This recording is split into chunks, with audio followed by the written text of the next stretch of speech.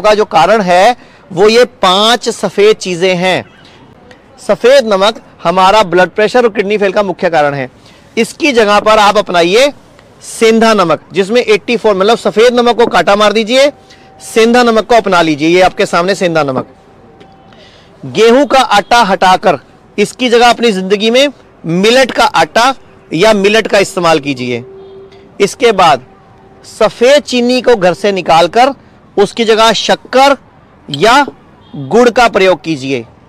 और चावल की जगह पर आप हरी कंगनी, इसके चावल बना के खाइए, यानी कि मिलेट्स को खाइए, ये बहुत इंपॉर्टेंट है।